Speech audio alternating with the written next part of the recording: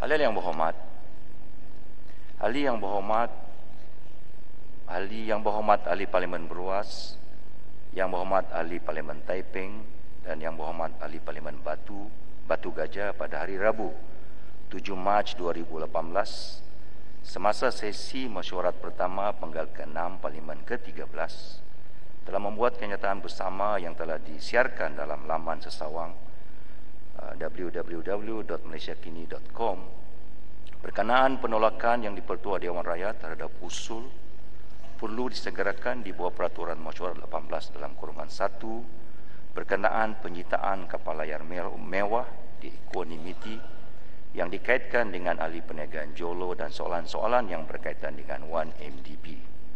Kenyataan tersebut telah menyatakan menyatakan bahawa yang dipertua tidak sepatutnya menjadi sekutu untuk menutup skandal rasuah dan sebagai speaker pendikar gagal menegakkan kebenaran. Justru perkara paling mulia untuk dilakukannya adalah meletak jawatan.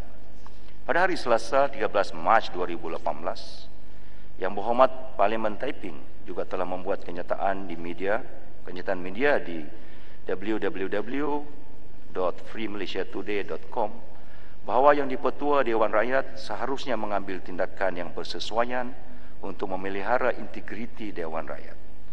Jika yang dipertua Dewan Rakyat gagal bermuat demikian, Parlimen Malaysia akan dilihat sebagai salah satu institusi yang paling memalukan di dunia. Ahli-ahli yang berhormat, saya telah meneliti kenyataan bersama tersebut dan mendapati wujudnya satu tuduhan ke atas tuan yang dipertua yang boleh disifatkan menghina yang dipertua sebagai pengurusi majlis mesyuarat. Ia merupakan suatu bentuk penghinaan kepada Dewan Rakyat yang mulia ini dan mencamarkan nama baik serta prestij Dewan Rakyat. Sehubungan itu, yang dipertua Dewan Rakyat telah menulis surat kepada Yang Berhormat Ahli Parlimen Beruas, Yang Berhormat Ahli Parlimen Taiping dan Yang Berhormat Ahli Parlimen Batu Gajah pada hari Selasa 13 Mac 2018. Surat berkenaan meminta ahli-ahli yang berhormat untuk memohon maaf secara terbuka di dalam Dewan atas tuduhan yang dibuat terhadap yang dipertua Dewan Rakyat selaras dengan peraturan mesyuarat 43. Walau bagaimanapun, yang berhormat ahli Parlimen Beruas, yang berhormat ahli Parlimen Taiping dan yang berhormat ahli Parlimen Batu Gajah enggan memohon maaf, maaf malah menuntut yang dipertua Dewan Rakyat untuk menjawab soalan-soalan mereka terlebih dahulu melalui kenyataan yang disiarkan dalam lawan, lawa, laman sesawang www.malaysiakini.com pada hari Kamis 15 Mac 2018. Tindakan yang sewajarnya, sewajarnya diambil oleh ahli-ahli yang berhormat adalah dengan mengemukakan usul bersendiri seperti yang diperuntukkan dalam peraturan masyarakat 43. Lanjutan daripada itu, yang berhormat ahli Parlimen Beruas telah mengemukakan satu usul di bawah peraturan masyarakat 18 dalam kurungan 1 yang meminta yang dipertua Dewan Rakyat untuk menarik balik surat permohonan permintaan maaf tersebut dan menyatakan bahawa surat tersebut merupakan suatu ugutan. Tindakan ahli Parlimen Batu Gajah yang enggan memohon maaf secara selepas diminta untuk berbuat demikian merupakan satu ketinggalan omission yang sengaja dilakukan dan tidak menghormati yang dipertua Dewan Rakyat sebagai pengurusi majlis mesyuarat. Usul yang dikemukakan oleh yang berhormat ahli Parlimen Beruas juga tindakan yang berhormat ahli Parlimen Taiping dan yang berhormat ahli Parlimen Batu Gajah yang membuat kenyataan tidak wajar di media serta enggan memohon ma maaf merupakan satu perbuatan yang menghina majlis mesyuarat tidak mengendahkan kuasa yang dipertua Dewan Rakyat sebagai pengurusi majlis mesyuarat dan juga suatu perbuatan penyalahgunaan peraturan mesyuarat yang tidak wajar dilakukan oleh seorang yang berhormat.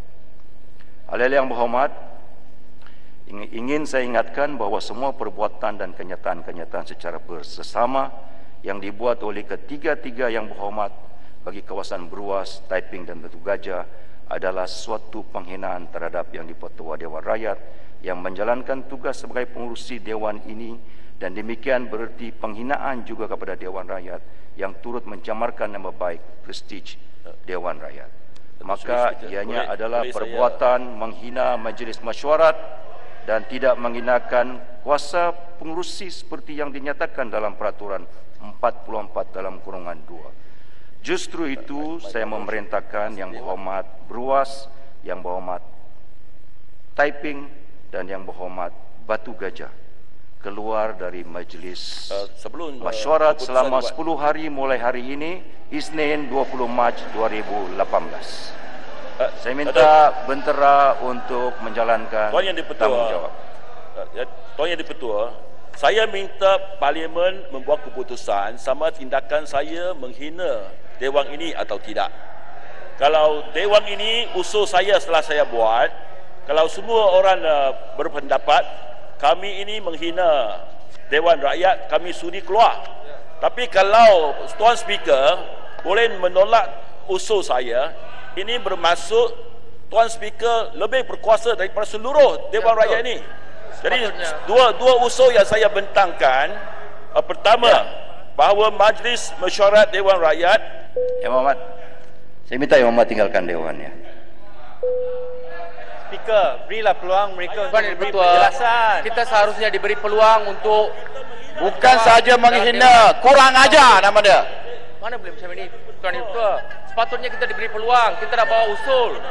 Kita harus debat perkara ini dalam dewan. Kalau dah biadab, keluar lah. ambil tindakan seperti ini. Kalau dah biadab, keluar. Get out, get out. Ya.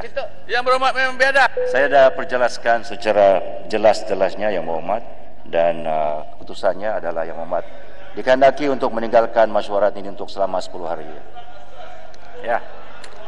Saya minta yang Muhammad keluar daripada dewan. Ya, bentera sila.